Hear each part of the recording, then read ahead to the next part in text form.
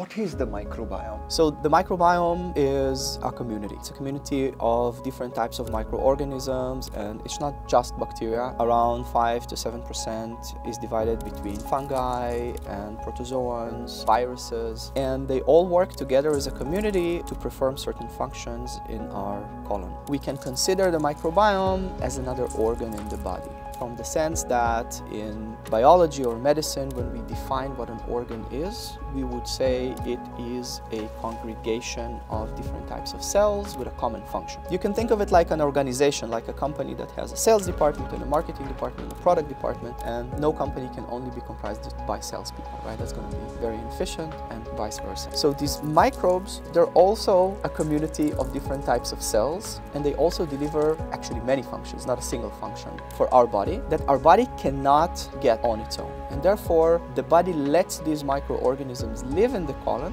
because they pay rent.